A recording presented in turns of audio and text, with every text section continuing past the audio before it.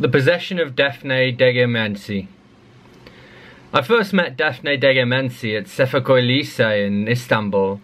It was our first day of high school and I didn't know anyone. I was a shy child and I usually kept to myself, but my parents had told me how important it was to make new friends. We were all wearing uniforms, of course, but Defne made hers look like haute couture, with a stunning gemstone hung around her neck on a leather string. She stood out from the crowd as though she was the only other person in the world. The playground seemed to shrink around us until there was only the two of us. I made my way over to her and said hello, and she reached out and took my hand. Hi, she said, with a voice like an angel. I'm Defne, what's your name? Zeynep, I replied. I love your necklace. It's a garnet, Defne said. My birthstone. I was born in January, see? January 18th. My birthday is the 20th, I said. I tell you what, I'll invite you to my birthday party if you invite me to yours. That sounds fair, Defne replied. Something tells me we're going to be friends. And we were too. Defne and I were 13 years old, and so was her cousin, Muja. She went to Kadriye Moroğlu, but we spent a lot of time together in the evenings and at the weekends. We were as good as inseparable during the summer. We used to hang around at my place while my parents were at work, making a nuisance of ourselves. We'd watch more than our fair share of American TV, it's how most of us learned English, and had learned that prank phone calls were the best way for kids to pass a lazy afternoon. Our favourite was to call the restaurants and kebab sellers and to ask for huge ass. We'd gather around the receiver and try to hold our laughter in for as long as we could. That's how most of us learned to swear in Turkish. When we weren't making prank phone calls, we were taking photos on disposable cameras. This was back in the 90s, way before smartphones. Mobile phones were around, but I didn't know anyone who had one. They were for businessmen, politicians and actors in the TV shows we used to watch. Digital cameras were a little more common, but I didn't know anyone who had one of those either. And so my friends and I used disposable cameras instead. We'd get them as birthday gifts and save them up until the summer, when we'd have plenty of time to take photos. They weren't exactly cheap to develop into prints, and so we weren't like the kids of today who take a thousand selfies to get the perfect shot. We spent 10 minutes making sure everything was perfect, hit the shutter button and hope for the best. We wouldn't find out if the photo was any good until we'd pick the prints up. We were just normal kids, or as normal as kids ever are. Defne was beautiful, but we were still so young that she didn't know it. That was the summer when she started to develop, but except for a couple of creepy stares from the old guys in the piazzas, we hardly noticed. No, we were just normal kids until that night in the summer of 96. Defne had invited us to her place.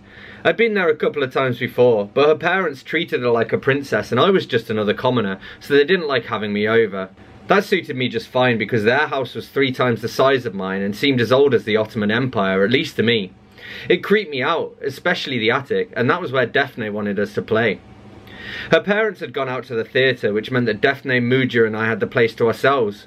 We just called a kebab shop and asked for Mike Roch, and when the laughter had died down, Defne took on a look of serious serenity and said, Hey, I've got an idea. Oh, Muja replied, what's that then? Follow me, Defne said. I've got another game for us to play. Defne led us out of the living room, where the house's only telephone was, and upstairs onto the landing. She grabbed a short metal pole with a fork on the end of it, climbed onto her tiptoes, and unhooked the trapdoor in the ceiling that led to the attic. When the door dropped open, a rope ladder fell out and dangled in the air, its bottom rung a foot or so above the floor. Defne gestured towards me and said, You first. We're going into the attic. No, Defne said, we're going to the moon. Okay, okay, I replied, point taken. I gritted my teeth and climbed into the attic. At first I couldn't see a thing, but then I heard Defne climbing up behind me and after her boots hit the ground on the battered floorboards, she pulled a cord and light flooded over us. I didn't even notice Muja climbing up last and closing the trapdoor. I was too busy casting my eyes around the room, which was a disappointment. The attic was mostly empty, although there were a couple dozen cardboard boxes pushed against a back wall and partially covered by old bed sheets. The floor was covered with dust and grime, and the windowless walls were draped with cobwebs. Defne had drawn a pentagram on the floor in white chalk, and she had placed a candle on each of the five points. She went over to them and lit them with a box of matches that she pulled out from a pocket in her jeans.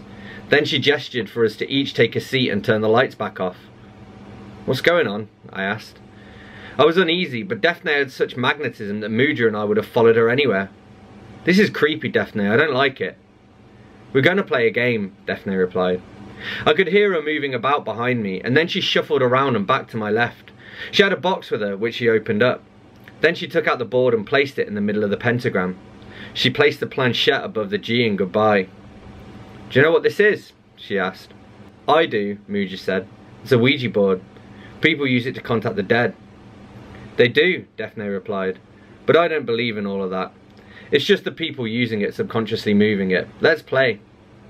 We shouldn't play with that thing. It's just a game, Defne insisted. It's made by Hasbro. Still, Defne. Oh, don't be such a baby, she said. Come on, put your fingers on the planchette. You too, Zeynep. That's it, just like that. She looked at the two of us and waited until we were in position. Then she turned her attention back to the board. We call upon the spirit world, Defne said. We welcome any spirits that would like to talk to us. As if on cue, the candles went out as an unseasonably cold breeze passed through the attic. I shivered and wrapped my arms around myself, wishing I'd thought to wear a cardigan. Defne lit another match and quickly passed it from one wick to another. Is there anyone here who wants to speak to us? At first, there was nothing. Then I felt a slight vibration and the planchette moved slowly but surely to the top left corner, where it stopped over the yes. Are you doing that, Defne? Mooja asked. Be quiet, Defne hissed. I was already way ahead of her. Even if I'd wanted to talk, I don't think I would have been able to. I noticed that as Defne spoke, her breath left a cold mist in the air. It had been 26 degrees outside. What do you want? Defne asked. There was a silent stillness to the air. The planchette started crawling across the wooden surface of the board like a cockroach in a nuclear wasteland. Why, oh, you. Me, Defne said. You want me? Why? Defne, please. We have to finish, Defne insisted. She turned back to the board and added, Why do you want me, Spirit? The planchette started to move again. D-E-A-T. Please, Mooja repeated. She sprung to her feet like a coiled snake, taking her hands off the planchette and breaking the circle. Defne, this isn't funny. I'm not doing anything, she protested. I stood up too, and I was hot on Mooja's heels as she raced towards the hole in the floor that led back to the house below. I'm sorry, Daph, I said. Mooja's right, this is too much, even for me. But I didn't do anything, Defne said. Maybe she didn't, but that night changed everything. And in hindsight, I also realised that when she blew out the candles and followed us out of the attic, she forgot to close the connection by saying goodbye to the spirit. Muji was so freaked out that she stopped hanging out with us. I still spent time with Defne, but only at school. I kept myself to myself during the summer, and on the rare occasions where she asked me to go out or to stay over at her house, I came up with an excuse. I'd been disturbed by the Ouija session, but Muji had seen it as an affront to Allah. I've never been particularly religious, although I consider myself a believer, but to me it was just an affront to common sense. Years passed, and after we graduated high school, Defne and I lost touch. I moved to England to study for my degree, but I went back to stay with my parents during the summer. I met Erdem when I was back home at the end of my second year. We started dating, and we've been together ever since. On January, I was back in Istanbul for my birthday in Eid when I ran into Mooja at the hairdresser's. I hadn't seen her since our teenage years, and so we had plenty of gossip to catch up on. There was an elephant in the room that we did our best to skirt around, but it was such a big elephant that we had to address it eventually. It was Mooja who broke the silence. Do you remember Defne? she asked. How could I forget? I replied. I haven't seen her since we left school though. I haven't seen her since that night, Mooja replied, you know. Yeah, I said. And I did know. She's my cousin and family is family, Mooja said. But I just couldn't face seeing her again. I hear about her though. My father and her father speak on the phone a couple of times a month. How is she? She's been better, Mooja told me. Father says she's been fainting and having seizures. They've sent her to doctors and psychologists to see if they can figure out what's wrong, but they haven't been able to diagnose her. And without a diagnosis, they can't treat her. Did she ever, I mean, was she okay after that day in the attic? I never knew her to faint or have a seizure, I said. She never even took a day off school. Well, she's changed a lot over the last few years, Mooja replied. She started making predictions about car crashes, murders and things like that. She'll start babbling in the middle of a seizure and no one will be able to make sense of it until they look back on it afterwards. The power of hindsight. Exactly, Mooja said. At least that's what it is for us. But it seems like Defne has the gift of foresight. She knew about the Russian plane that crashed last year, according to her father at least. And you trust what he says? I asked. What I mean is, do you think he's exaggerating? I, I'm not sure, Mooja admitted. He told my father that when she makes her predictions, her voice gets deeper, but perhaps that's just the seizures. The hairdressers had finished with her, but no one else was waiting, and it seemed as though the staff were just as absorbed in our conversation as we were. She carried on talking as my own hairdresser took care of my split ends.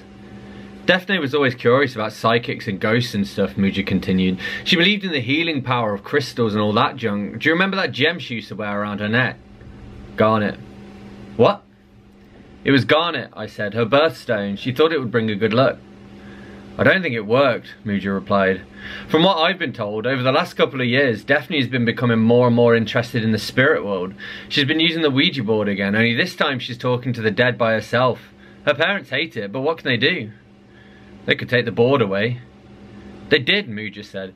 They locked up the attic too. Defne didn't go to university and she's still living with her folks, but she's got a car now and she's a grown woman. They can't exactly lock her up in her bedroom. It can't be that bad, I said. I'm not sure about that, Mooja replied. She leaned in a little closer and lowered her voice, although I'm not sure what she was hoping to accomplish. The entire barber shop was listening to our conversation. I know you've always been skeptical, Zeynep, but hear me out. I, I think she's been possessed. I'm not sure what response she was expecting, but I doubt it was the one she got. I sneezed. Perhaps we should continue this conversation another time, Mooja said. Are you free tomorrow? I told her that I was, and we agreed to meet up for a walk in Bahçeköy Merkez, where we hoped we wouldn't be overheard. It was and is a stunning neighbourhood, and it had been one of my favourite places to spend time when I was a teenage dreamer with too many books and not enough time. We stopped off to pick up a couple of cups of take-out coffee and then strolled together through Belgrad Ormanı. For a while, we talked about school, the weather, and anything else we could think of, but even though she wasn't there, Defne had a hold over us that was impossible to resist. And besides, we had a conversation to finish. Did I tell you about when she crashed my party? Muji asked. I shook my head, my eyes still focused on the trees that lined the path in front of me. It was my 18th birthday, Mooja explained. I was in the year below you, and so you'd already left for university. Otherwise, I would have invited you. Don't worry, I said. I'm not offended. I didn't invite Defne either, Mooja said. It didn't even occur to me. We hadn't seen each other for a couple of years. Besides, it was just going to be a half a dozen of us girls watching movies and doing face masks. None of us drank, and so it wasn't exactly supposed to be a wild night in. But then the phone rang. I think I can tell where this is going. It was Defne, Mooja confirmed. She said she knew there was a party happening and that she was coming over. How did she know that? She was your cousin, I reminded her, and you were turning 18. It wouldn't have been hard for her to put the pieces together. Maybe, Mooja said, but I don't think she knew when my birthday was, and I'd never had a party before. We hadn't spoken for years, and then she showed up out of the blue at my party and ruined the whole night. What did she do? What didn't she do? Mooja asked. She sighed. To begin with, it seemed like we might have a decent night, but then she started getting weird. She talked about witches and fairies, gods and goblins. She was obsessed with the children of Iblis, Dasim, Awa, Misut, Thabar and Zalampur. And then she backed Faria into a corner and asked her, how long has your mother been cheating on your father? I whistled as I inhaled sharply and flashed a glance at Mooja, who had her face turned slightly away from me as though she didn't want me to see her. Yeah, Mooja said. You can imagine how the rest of the night went from there. It gets weirder though. I spoke to Faria a couple of weeks later and she told me she'd confronted her mother and demanded to know the truth. Defne was right. Now Faria's parents live separate lives and sleep in separate rooms, although they're still married in the eyes of Allah, and the law, I suppose. Why are you telling me this? I asked. Because I want to know what you think, Muja replied. You know, if we add together the seizures, the visions, the Ouija board, do you think she could be, you know, possessed? I asked. My voice sounded unnaturally loud, especially amidst the relative quiet of the forest, and it was followed by the fluttering of a dozen pairs of wings as birds took flight away from us. No, that's not possible. I mean, demons aren't real, are they? She had no answer for that. I travelled back to England after Eid, but I thought about Defne and the story that Mooja had told me every day, especially when the lights were out and I was trying to sleep. Erdem and I were engaged to be married, and so we spent much of our time going around the houses, visiting various family members and handing over invitations or receiving written RSVPs, which we were saving to put inside a scrapbook. There wasn't much time for visiting old friends, but that didn't stop them from coming to see me. One afternoon, while my parents were at work and I had the house to myself, there was a knock at the door. I peeked out through the spy hole and saw two familiar faces on the other side of the glass, although I hadn't seen one of them since I was a teenager.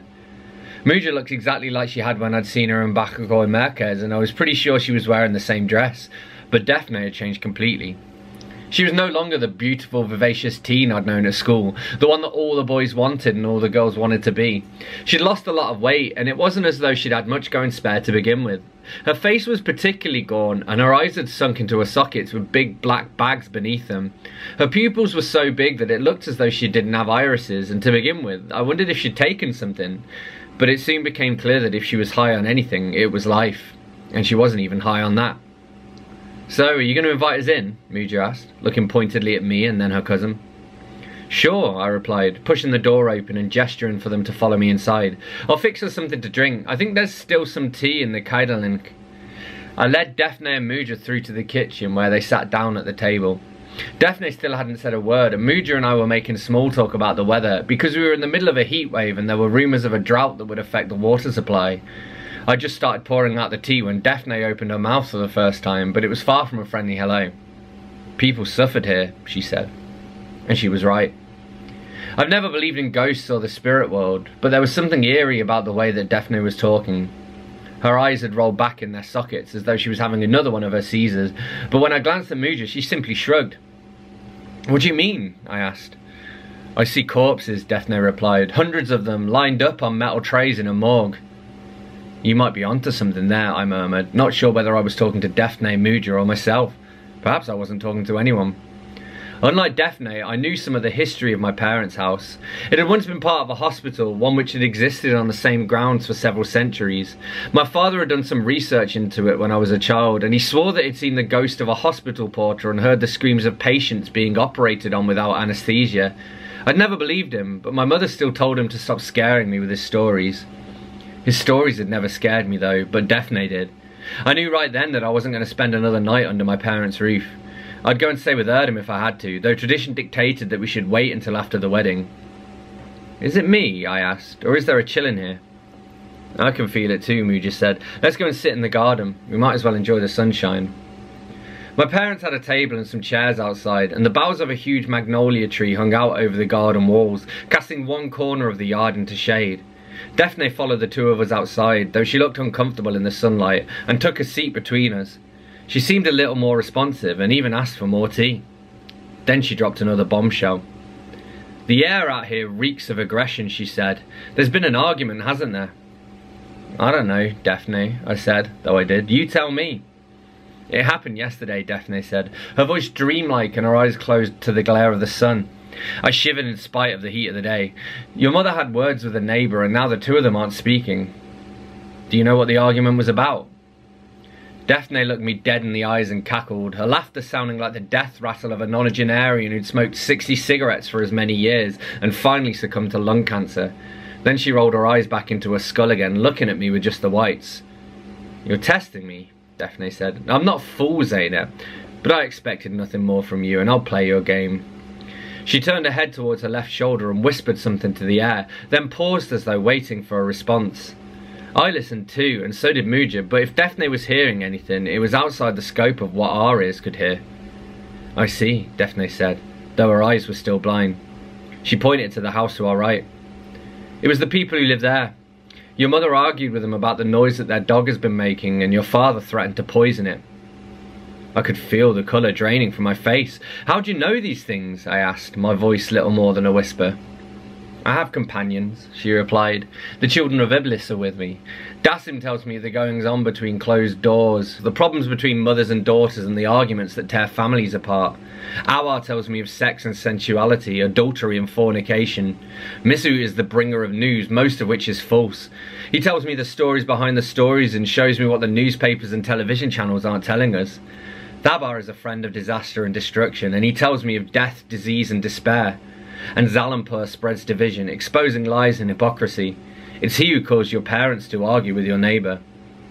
I was silent for a moment as I tried to process what Defne was telling me, but Mooja was quick to break the silence. It must be exhausting, Mooja said. How can you live like that? They bothered me, to begin with, Defne admitted. But it's amazing what a person can get used to. Now I can't imagine my life being any different, and besides, I have this. She threw her head back, tossing her hair over her shoulder, and then reached down to a talisman that she was wearing around her neck. It was made out of gold and was shaped into a simple oblong with a line of Arabic text from the Quran engraved into it. Some would call this a sin, Defne said, but I believe it will protect me and that it's Allah's will for me to wear it.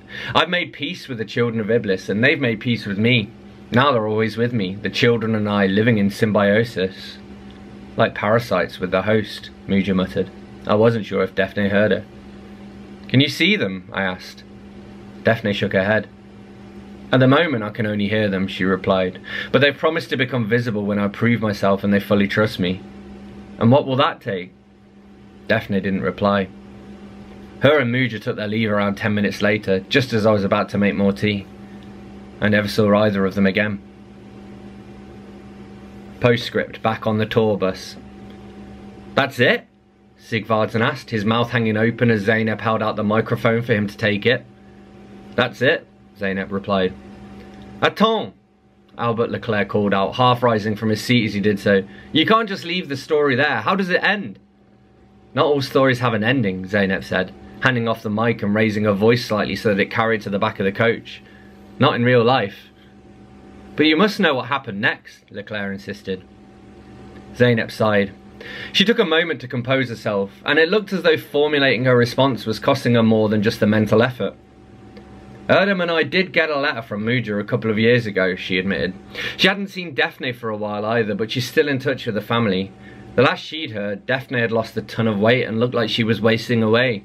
She'd also fallen in love with a Catholic and the two of them got married, although when we got the letter, they were yet to have children. I hope they don't. Why not? Zeynep opened her mouth to speak, but no words came out. She tried again, but still nothing. Her husband had to climb out of his seat and go to her rescue. We're afraid that if they do, the possession will become a curse and be passed down to the next generation, Erdem said, and if her husband tries to find an exorcist, it could kill her. Silence descended upon the coach as the passengers thought about the story they'd heard and the conclusion that Erdem had shared with them. Then Sigvardsson clapped his hands together, shocking the passengers into a dithyrambic round of applause. That was fantastic, Mrs. Bosker, Sigvardsson said. Thank you for sharing your story with us. These tales are getting better and better. So who's next?